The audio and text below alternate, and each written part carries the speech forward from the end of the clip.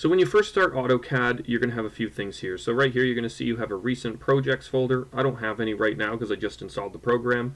Over on the left, we also have Autodesk projects. Again, I don't have this installed. We have a learning page where you can go and get tips and tricks from Autodesk. And you can have a few things called My Insights, which just kind of shows you featured recommendations in the program. If you come up here, you're going to see we have an open tab. In here, you can open up your own um, drawings here that you have saved, and over here we have new. You can browse templates or just create a new drawing. In this drawing, we're just going to click Browse Templates, and we're going to go to the basic ACAD.dwt folder. You're going to notice here that there is different types of drawing styles, different types of folders and templates you can open. Again, today we're just going to deal with ACAD.dwt. Once this is open, you will notice that you have a ribbon here that contains all the tools you'll need to use AutoCAD properly. You're going to see we have visualization tools over here. This allows us to orbit and create 3D objects most of the time. When you're drawing in 2D, you don't tend to use that too often, but uh, it comes in handy when you're using three-dimensional objects. Down here, you're going to notice we have the command bar. The command bar is going to be your best friend when you're using AutoCAD because it allows you to type in commands and get things done instead of having to manually search for it on the ribbons.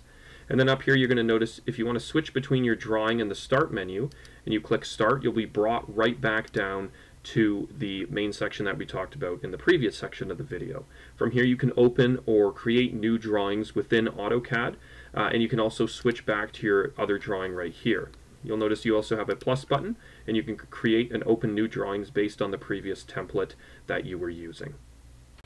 Once you've gotten yourself accustomed to the layout of AutoCAD 2025, the next thing we're going to do is learn how to do 2D drawing.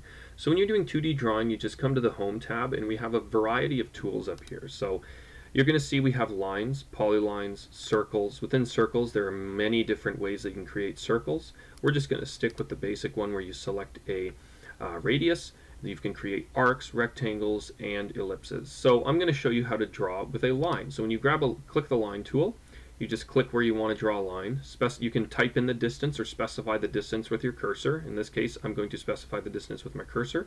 Let's say I want it around 7.5. So as you can see, you can also, it, it's not too accurate if you don't type it. So right now we're just going to type in 7.5 on our um, on our keyboards because it's automatically set, as you can see, to that distance that I have. You can also specify an angle if you press tab if you want it to be at, let's say, a 30 degree angle. Press enter and it's now at a 30 degree angle. One thing to note is when you are doing angles that AutoCAD will take into account what you have as a preset for that. So it's always preset to uh, start on the bottom right, I believe, and that's what I have here. So what you can see here is when I click enter, my line is then created. Um, I can also just draw down and I can click down and then I can click on to the left and I have a perfect triangle. When I come here to polylines, one thing you'll notice is polylines and lines act very similar when you're drawing them right now in this version of AutoCAD. And you'll see that as I draw my polyline, that uh, I'm just going to draw a rectangle, and you can see that it's all just one flush object when I select it. If I go to my lines, I have to manually select each and every line in order to select it. So that's the main difference between lines and polylines. Polylines allow you to draw a drawing and just select that entire uh, sequence of lines at the same time, while, while just lines don't allow you to do that. If you come up here to circle, you'll be able to select a circle. If you come here and you click where you want your circle, you're going to be able to specify a radius. There is a command to specify a diameter. If you come up here to the circle, you can specify a center and diameter instead of a center and radius. You can also select two points, three points, tan, tan, radius, and tan, tan, tan. We're just going to select center and radius. So I'm going to go back to what I was doing. I'm going to click the center. I'm going to come out and we're going to come down to 2.5 just for ease of use. And you can see we have our circle. Um, we can also come here and we can do arcs. There's multiple different types of arcs. There's three-point arcs, there's center end. You can play around with these and figure them out yourself. In this one, we're just going to do a three-point arc. So I'm going to specify the start point of my arc. I'm going to specify the second point of my arc, and then I'm going to be able to bend my arc to what I need it to be. So if I come here, I can just make it cap that out. You're going to see on the bottom here that it's not what I want it to be, so I'm just going to click it. I'm going to grab this and I'm going to pull it back to where I want it, and my arc is exactly how I want it. And then up here you're going to see we have a shape command, so you can create rectangles and polygons. So if I click on the rectangle command, I'm going to be able to come up here, and instead of drawing a rectangle like I did with the polyline tool, I'm just going to click in the corner that I want, I'm going to click in the second corner that I want, and I'm going to have my rectangle. Now, it does stand to reason that you'll be able to do the same thing as you did with polylines. You can specify the length and the width of your rectangle. So again, when you're doing this, type in what you want. So we'll do 7.5. You're going to see that it's highlighted where I'm typing. And once I'm done with that one, I press tab. Do not press enter. Press tab. And I'm going to type in 3. Once I've pressed 3, then I will press enter. And then my rectangle will go to the size that I specified through my keyboard. If you come up here again, you'll see there's a little drop-down menu. There's a, polygon tool. Once you get that, you can select the number of sides you want. So I'm going to do a six-sided polygon. I'm going to specify the center of my polygon. It is going to be inscribed in a circle, and you're going to see that I have my six-sided polygon, and I can specify the radius of the circle that I'm going to use for this polygon, because that's how AutoCAD creates polygons, is through circles, kind of. So you're going to press that, and then you'll have your polygon created. Over here you're going to notice we have the eclipse or the ellipse command. We can specify a center, axis, and elliptical arc. We'll just do center. We'll come over here. We'll just click it down. We're going to specify that size of it, and then when you once you've specified the distance or the radius of it, you'll be able to stretch it to what you need it to be. I'm going to stretch it to here, and that's how you draw basic shapes in AutoCAD 2025. There's a variety of other commands down here. I encourage you to go and try them out, but we're going to right now move on to the next part of this video. So AutoCAD has a variety of tools that can help make your drawing life way easier. So down here you're going to see we have a variety of tools. So over here you're going to see grid mode. So grid mode allows you to see the grid or not. So if I click that, then my grid will shut off and it'll make the drawing nice and clean for when you need to, you know, look at things a little in a more realistic light. We're going to turn it back on for now. You're going to see we also have snap mode. So this allow this makes it so your cursor when you're drawing snaps to your grid. So you're going to see that I can't go in the center of that um, square. I can only go to the corners of it and it snaps to grid. This is very useful when you're making precise drawings that have to be you know up to scale and precise. Uh, so we're just going to turn that off for now. Over here we've got ortho, orth, ortho mode. So what this does is when you're drawing, it restricts your cursor to the X and the Y axis. This is good for making nice, clean 90 degree angles. And then we've also got a variety of other tools over here. So we can click here and we can select our snap points. So if you haven't already, um, then come here and select the snap points I have. These are the snap points that I use personally all the time. I don't tend to use um, some of the other ones because they don't really affect my work. Um, but if you have to do that and it would affect your work, then go and play with what you want. But I'm just going to leave this up for a minute. Uh, please feel free to pause the video and take note what I've had and then select what you need to use as well. The next thing we're going to go over quickly is the command bar. So the command bar allows you to speed up the drafting process. One tool that I would like to tell you about that I don't see anyone talking about is the DYN mode command. So I want you to come down to your, co your command bar, type in DYN mode, and you're going to see a pop-up show up. I want you to press enter, and you're going to have a variety of selections you can make. Once you have this, if your value is not 3, I want you to type in 3 and then press enter. When you have 3 set, you can start just typing on your keyboard without having to select the command bar. This is something a lot of people you know ask about but it's something that's really important. So I have mine set to 3 already um, and I'm just going to show you what that looks like in a minute. So instead of typing on the command bar and having to manually click on it every time you can just type in line and then you're going to see that the line command is going to show up and we'll automatically have lines set on our drawing we can also do this for polyline, circles, arcs, modifying uh, anything really. So if I want to scale something, I type in scale, I press enter, I can select my object, I can press enter, and then my command is already there and I can already scale the object. So just keep that in mind and just know that the, the command bar is one of the most important tools you will use in AutoCAD. So the next thing we're going to do is we're going to learn how to edit objects. So once you have the command bar set up, um, you're going to be in a way better position. So right now what we're going to do is we're going to learn how to copy, mirror, scale, stretch just really quickly. So if you come up here, you're going to see we have our command. So we have the scale command, stretch command. If I come here, I'm going to click mirror. I'm going to select the object I want to mirror. I'm going to press enter. I'm going to specify the first part of my mirror line. I'm going to specify the second part of my mirror line. I'm going to press enter. I do not want to erase my source object. You can if you want. So if you select erase source object, it will mirror the object but get rid of the original. Helpful in some situations, but if you just want to mirror it and make like the house, if it's, you know, mirrored down the middle, then just click no. So I'm going to click no, and there we have it. We have a mirrored object. Now you can specify the distance and everything, but that's a different uh, function for a different time. If you come here, you also have the scale command. So if I click the scale command and I select my object and press enter, I can specify the base point of my scale and it will allow me to scale up my object by multiples of whatever I type in. So if I type in 4, it'll be, I think, 4 times as large or something like that. Um, but, uh, you know, you can also just drag it as well. If you come here, we also have the stretch command up in the top left-hand corner. This allows you to stretch an object. So if I click my line, I press enter and I stretch it, well, it's going to just stretch my line. Um, but, uh, you know, stretch command has a variety of uses, but um, it's more so used when you're, you have like rectangles or something like that.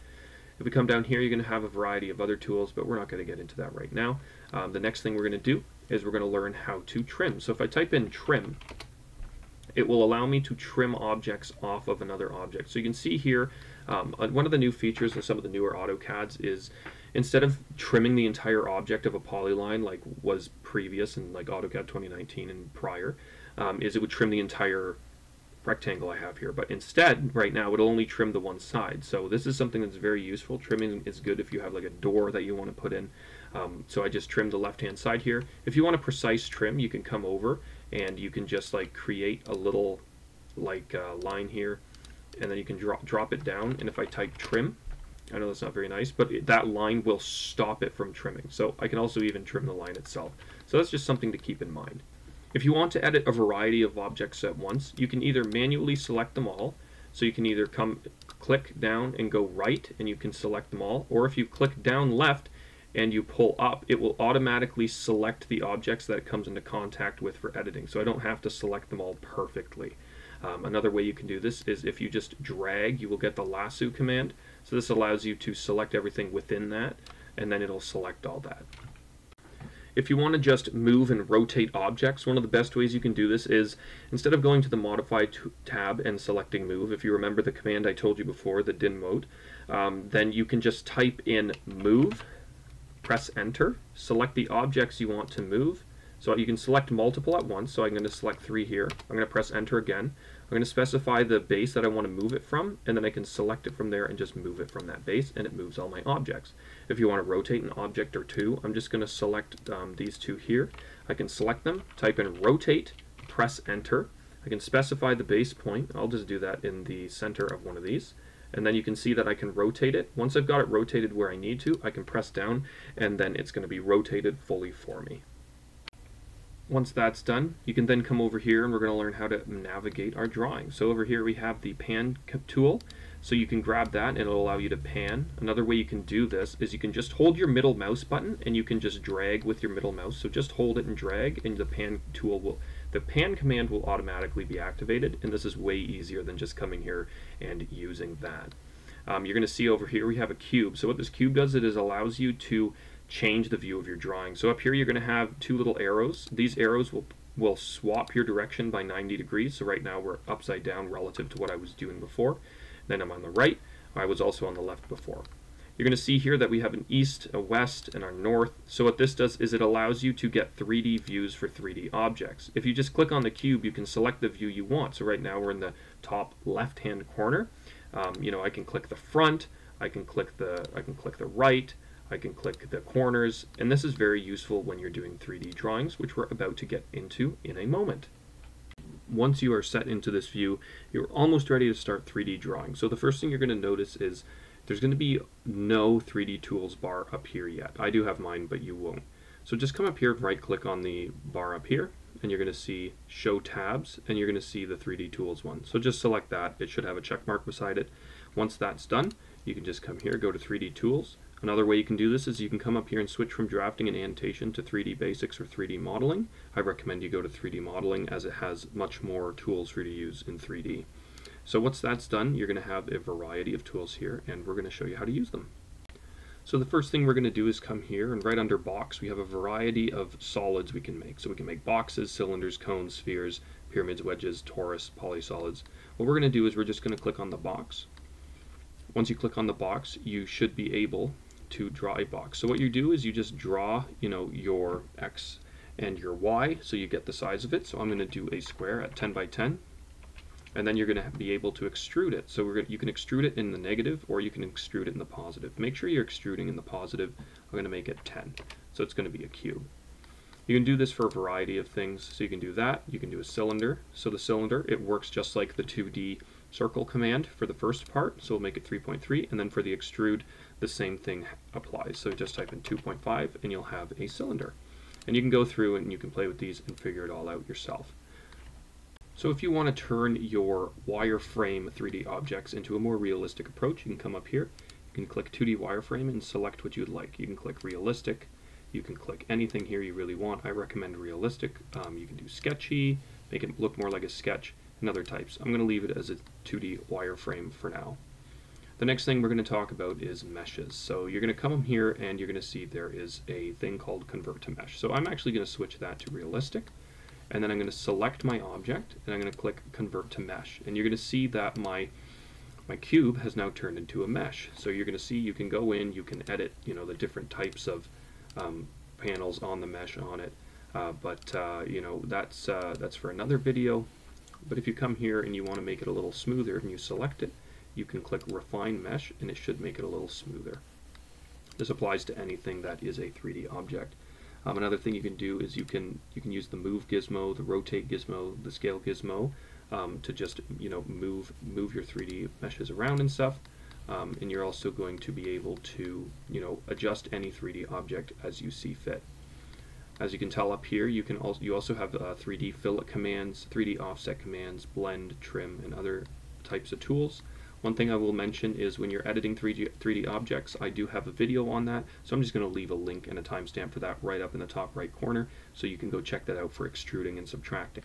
But back to the topic of meshes, if you come back to the modeling section, you're going to notice that you can insert meshes into your drawing automatically. So if we just click on Mesh Box, we can specify where we want to put our mesh box, we can bring it up, and then we're going to have a mesh box. And you can go and you can click that, and you're going to see that you have multiple different meshes on there that you can then customize to what you need it to be. Once your work is complete, you are now ready to export. So what you can do is you can come here, if you go in the top right corner, click on your A symbol, you can click Save As, and you can save the drawing as a .dwg file.